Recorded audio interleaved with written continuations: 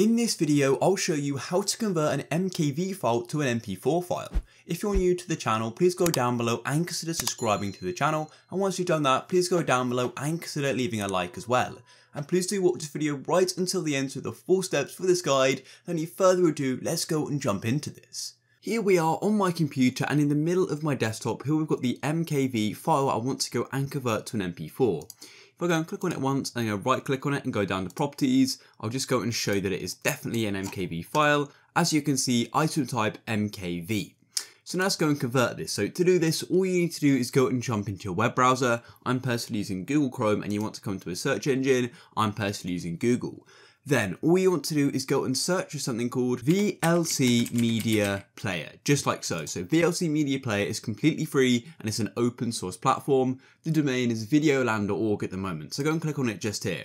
You can also go and get this on Mac as well, which is really cool. So all you want to do is come to their website and you just need to go and click on download VLC right in the middle and it's going to go and stop the download and it's going to go and drop either into your file explorer or in the bottom of your browser depending on what type of browser you're using. As you can see it's around 40 megabytes. Now this tool is really useful and we can go and use it to convert our files. So once it's finished so once it's finished downloading all you need to do is go and open it up and just go and run through the installer. It's really simple and I'll catch up with you once you've gone and installed the program. So now you should have gone and installed the program. So all you then want to do is go and open it up. So come down to the magnifying glass and you go and search here. And then all you want to do is go and search for VLC Media Player. Here it is. So go and open it up just like so.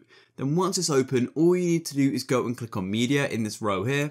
And then you need to go down to convert slash save. So go click it. And then you're going to go and get this option here to go and open media. And then all you need to do is make sure file is selected, come onto the right hand side where it says add and go and click here.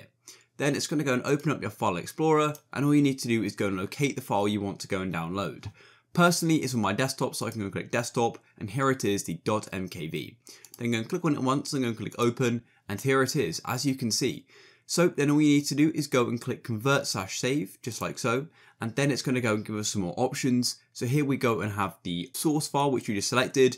Then you want to go and make sure convert is selected. And then for profile, come and click on it. And here we need to go and make sure MP4 is selected. So you may need to scroll down. As you can see, there are a ton of options. I'm going to go and use MPEG 4 1080p for TV slash device. So go and click there just like so. Then all we need to then do is go and select where it's then going to be saved. So I'm going to go and click browse. Then I'm going to make sure it's on my desktop just like so. And all you want to do is go and change the file name to .mp4 just like so and make sure the save as type also says mp4 as well. Then you can go and click save and once that's done, you then need to come down here and go and click start. And then the progress bar is going to move across in the VLC media player just like so. And then once it's finished, it's then going to be ready to be opened. As you can see, it's already on my desktop, but we can't go and open it up while it's being converted. And once it's finished, you can then go and close off a VLC media player. And here it is. We've now got two files, one being the MKV and one being the MP4. And as you can see, when I hover over this one, it's MKV. I want to hover over this one, it's MP4, and then you can go and do whatever you'd like with it. If you found this video useful, please go down below and consider subscribing to the channel. Leave a like for more. Peace.